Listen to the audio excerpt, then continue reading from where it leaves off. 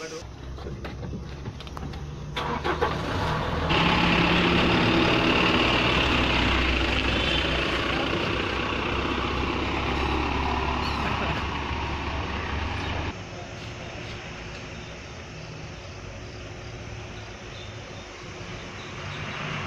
कल नाबालिग लड़की के पिता ने ये प्रार्थना पत्र दिया कि उसके नाबालिग लड़की के साथ रेप की घटना हुई थी। घटना में सत्यता पाई गई है।